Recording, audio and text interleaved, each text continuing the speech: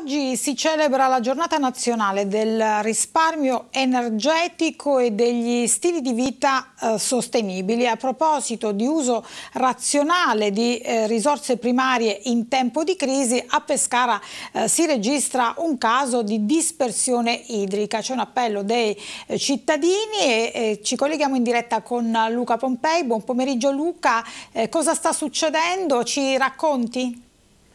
Sì, buon pomeriggio a te Giuliano, un saluto a tutti gli amici telespettatori. Eh, beh, noi come sai bene cerchiamo di rispondere a tutte le segnalazioni, e sono eh, tante che quotidianamente giungono alla nostra redazione eh, social. Eh, stamattina ne abbiamo scelta una in particolare perché è abbastanza eh, emblematica. Dicevi giustamente eh, tu, in una giornata come questa, dove si fa grande attenzione, se dovrebbe fare eh, tutti i giorni dell'anno, ma ad ogni modo eh, si parla di eh, risparmio delle risorse primarie, ebbene ecco che fine fanno le risorse primarie, in particolare eh, l'acqua eh, potabile in una via di Pescara. Siamo in via Monte eh, Media, mh, attraverso di Colle e Marino e nei pressi del liceo scientifico Leonardo eh, da Vinci. I residenti ci hanno segnalato che da giorni, probabilmente eh, per via della rottura di una uh, tubatura, c'è un rigagnolo perpetuo di acqua potabile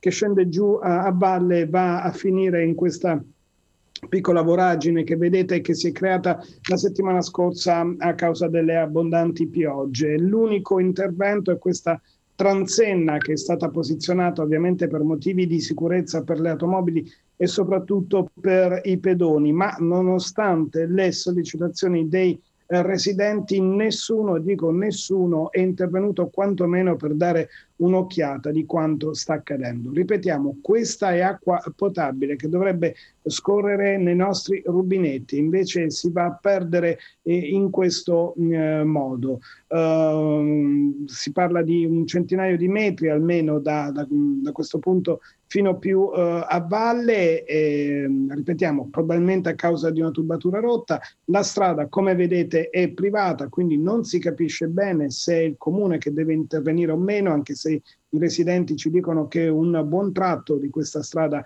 è eh, comunale, ma eh, quantomeno almeno un tecnico dell'ACA che venga a dare uno sguardo. Ormai sono passati già dieci giorni da quando questo rigagnolo scende in maniera, ripetiamo, perpetua eh, giù in questa eh, voragine, nessuno interviene ed è un eh, vero peccato, Gigliola, che eh, questa acqua potabile, ripetiamo potabile, vada sprecata in questo modo. A te la linea, Gigliola.